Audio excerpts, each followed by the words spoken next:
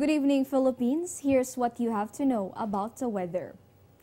Apart from your umbrellas, it is now time to bring out your jackets and other rainy days essentials. According to Pag-asa, ITCZ, or Intertropical Convergence Zone, has oscillated and is now affecting the southern Luzon as well as Visayas. In the next hours, cloudy skies with light to moderate rains will be experienced over Metro Manila as well as Central Luzon, Calabarzon, Mimaropa, Bicol Region, Visayas, and the Northern Mindanao. Meanwhile, the remaining parts of Luzon and Mindanao will have generally fair weather condition only with chances of isolated rain showers or thunderstorms. We will give you more right after a short break. Air 21 online booking.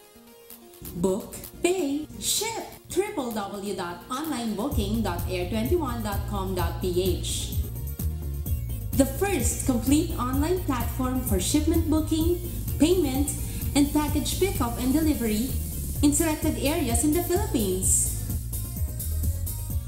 Another innovation by Air 21. Sagot ko, padala mo. At this point, let's check the three-day weather forecast of Pag-asa. For Baguio City, generally fair weather condition is expected to prevail and temperatures will be between 16 to a possible high of 24 degrees Celsius. Here in Metro Manila, same weather condition will prevail, but stay hydrated as temperatures could reach a maximum of 33 to a possible high of 34 degrees Celsius. For Metro Cebu, rainy days are in store for our travelers, so remember to bring your umbrellas and rainy day essentials.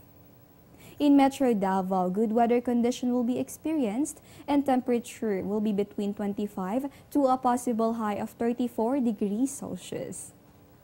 And lastly, for Zamboanga City, generally fair weather condition will be expected, but isolated rain showers or thunderstorms are still possible.